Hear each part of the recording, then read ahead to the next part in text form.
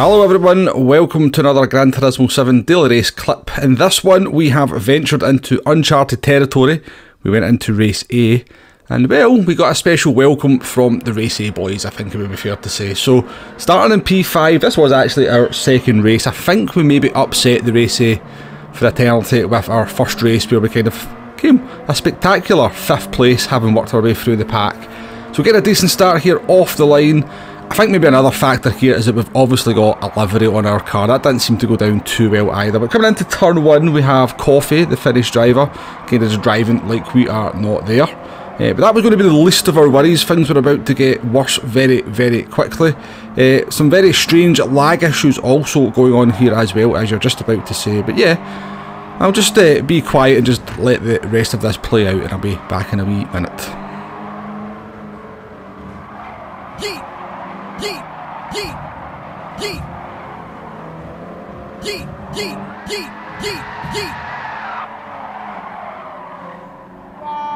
So there you have it folks, that is what it looks like when the Race uh, boys decide to use your uh, Toyota 86 as a football as we got passed around three drivers there who, well, yeah, pretty much used us as a football by the looks of it and uh, completely destroyed our race. Now in a strange twist of fate, the three drivers involved, we've got L here, uh, and not the Swedish driver, they weren't involved. I would go through to Aitor, the Spanish driver, and WRT Thomas, the Belgian driver. All three of them actually picked up a 5 second penalty for their involvement in our uh, getting passed around the, the S curves at Suzuka. So, a certain amount of justice has been meted out. I will leave you with the replay footage of this one. Race A is actually quite good fun.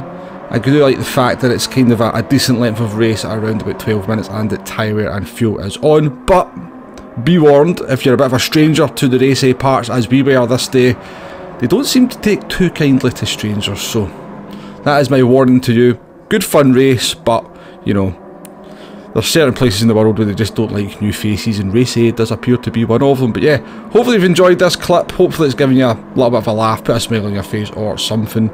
Uh, yeah, hit that like button, hit that subscribe button if you haven't already. And uh, I shall catch you on the next one. Goodbye now.